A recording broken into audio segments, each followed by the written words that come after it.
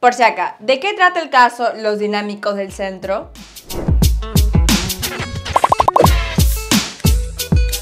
Los dinámicos del centro son una presunta organización criminal que se encargaba de cobrar coimas a cambio de obtener una licencia de conducir y puestos de trabajo. Es tan grave el caso que incluso personas que no podían ver bien podían obtener su licencia. Tú que has reprobado tres veces el examen de manejo sabes lo importante que es conducir bien porque implica vida de personas.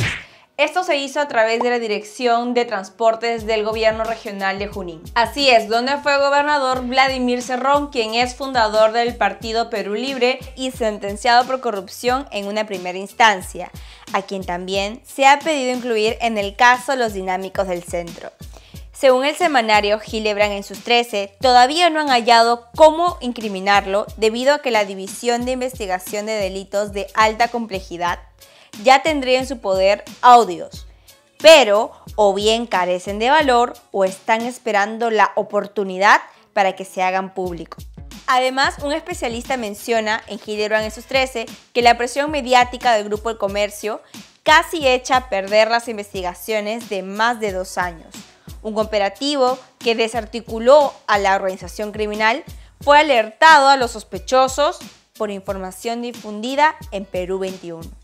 Por si las investigaciones preliminares de la Fiscalía se vienen realizando desde el año 2019 por los presuntos delitos de organización criminal, cohecho, concusión, falsedad ideológica y tráfico de influencias. Y estarían involucradas 27 personas, de los cuales 5 destacan al tener vínculos con el Partido Perú Libre, sean al ser militantes o miembros importantes del partido. De estos resaltamos a 3.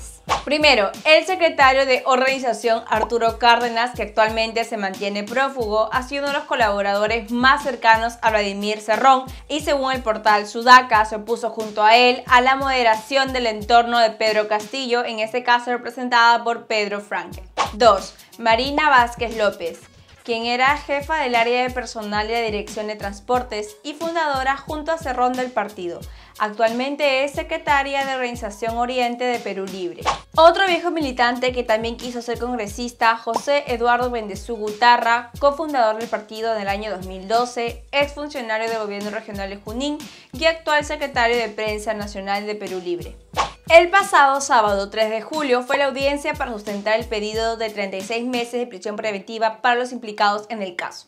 Según el portal El Foco, se presentaron testimonios de dos aspirantes a colaboradores eficaces que señalaban que desde que Pedro Castillo llegó a la segunda vuelta, la organización criminal se vio obligada a aumentar el cobro de cupos para la emisión de brevetes, que podrían oscilar entre 500 a 2.300 soles por postulante, para presuntamente financiar la campaña presidencial.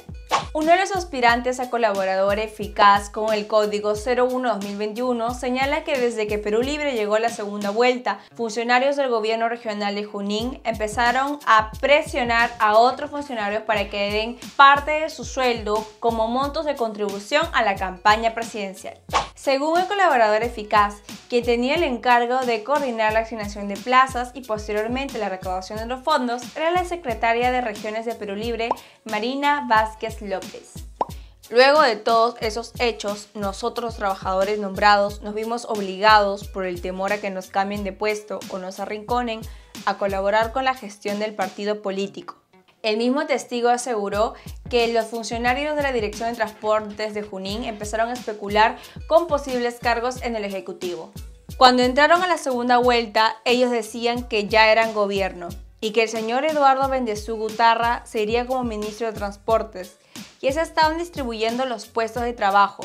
Solo una investigación podrá determinar si lo declarado por ambos aspirantes a colaboradores eficaces es cierto o no.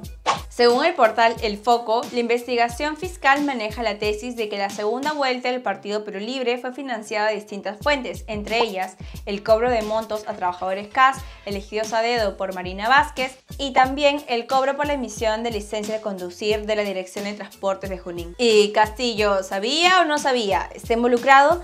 La investigación de los dinámicos del centro no lo incluye, sin embargo él ha declarado que se someterá a cualquier investigación y que no ha recibido plata de nadie y que la plata era del pueblo.